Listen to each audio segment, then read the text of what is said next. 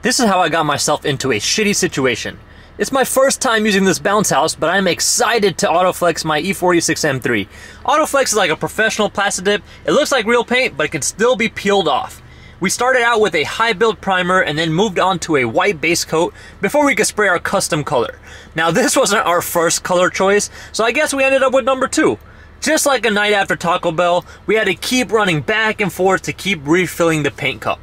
Now the color didn't look too bad as we were spraying it, but it was just so hot and humid and the overspray was just falling back onto the car.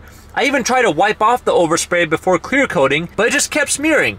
So we left the car to dry overnight, but it just didn't want to leave the booth. I'm just glad it didn't leave any skid marks. We tried to pull it out with the truck, but the tow strap broke and the M3 decided to self-sabotage into the back of the booth. Come back next time where we paint our other M3 in Pepto Pink for the ultimate combo.